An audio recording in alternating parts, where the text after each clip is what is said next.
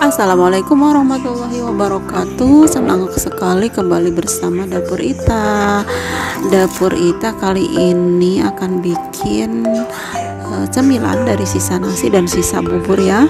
Dan siapa yang di sini harus bikin bubur tiap hari tetapi tidak pernah pas ya tidak pernah habis semua itu susah sekali penakarnya ya. Jadi selalu ada sisa kali ini dapur Ita akan memanfaatkan sisa bubur dan atau juga sisa nasi. Bagaimana cara masaknya? Apa saja bumbunya? Saksikan sampai selesai ya. Terima kasih